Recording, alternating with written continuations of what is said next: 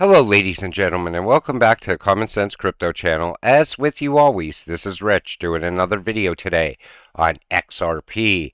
So I hope you're all having a wonderful day today wherever you are in this great, great world. We're going to talk about XRP, but I have to start with this. I want to talk about Tether a little bit because things aren't looking good. Pushing the narrative for Tether to collapse.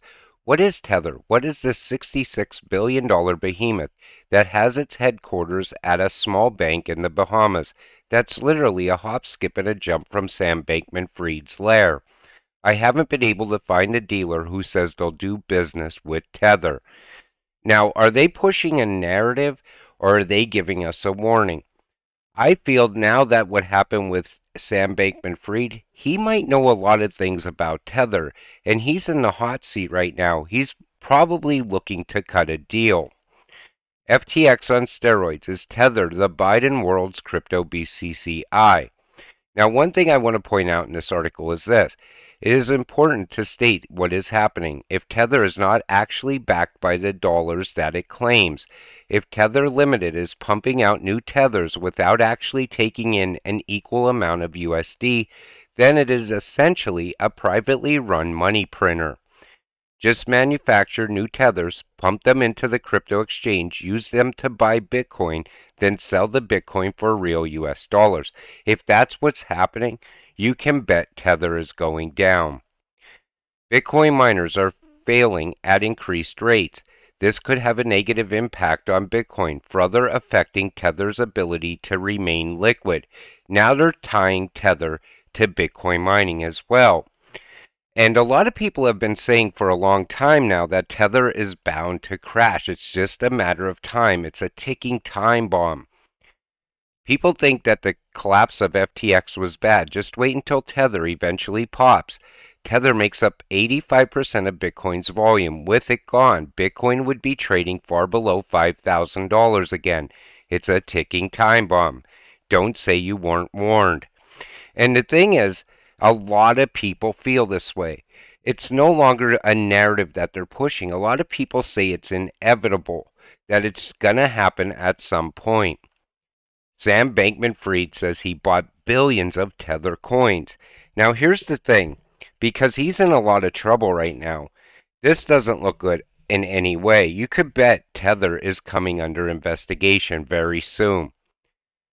Now, Alameda is the biggest recipient of Tethers ever. Sam Bankman Fried was Tether's biggest customer.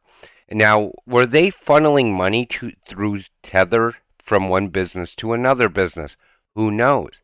But again, this does not look good for Tether, and it doesn't look good for Bitcoin in the future. Just in, U.S. digital currency, a unanimous need to compete with China, House Committee. All invited speakers agree that the United States must launch a digital currency to remain globally competitive. Now they're switching the narrative as far as a digital currency as well. We have to fast track everything to keep up with innovation throughout the world. We have to compete with China. We have to compete with Russia. We have to compete with everyone at this point. They're trying to put a sense of urgency on it. This is all coming after the FTX collapse, which I believe was a planned collapse. Fed's Barr says stablecoins are urgent risk requiring guardrails. Bloomberg. Now, they're also going to bring stablecoins into light. I believe USDC is going to become the United States stablecoin at some point, most likely tied to the CBDC. Hasn't Tether's transparency been called into question by U.S. regulators? Also, isn't USDC likely to be the CBDC for the United States? I'm guessing some pretty powerful, influential folks would like to see Tether fall. Now, how much of a threat is Tether to USDC? That's what it seems to come down to. If they want it gone, this is the perfect time to go after Tether, after what happened with FTX. Ripple is the only company, albeit a very important one, whether you want to admit it or not, XRP will remain in the top 10 crypto 10 years from now, and it has been in the last 10, whether you like it or not and digital assets will move forward with or without the United States. Now, this is also important because the rest of the world is about to go live with XRP at some point. If the US isn't on board with XRP and Ripple, most likely they will still lag behind as far as in innovation. I believe they're working with Ripple behind the scenes. And the thing is, I believe that maybe the SEC lawsuit is that big charade that people have been calling it for a long time now. The U.S. must compete through innovation and legislation in the crypto space to play a leading position in shaping the future of digital money. XRP serves a major role in this endeavor as digital bridge asset for any currency from any country doing so fast, affordably, and securely. Now, we know the technology behind XRP puts a lot of people ahead of others. It even allows small banks to compete with bigger banks. So I believe whoever goes live first with XRP will always get the upper hand, whether it be BRICS or the UK. That's why I said I believe they're looking to go after Tether, fast track this CBDC, because I believe Tether they're looking at as competition possibly. And with Tether out of the way, then they fast track USDC and a CBDC. That could be the plan behind all of this. A lot of people are going to regret after five years for not investing in XRP.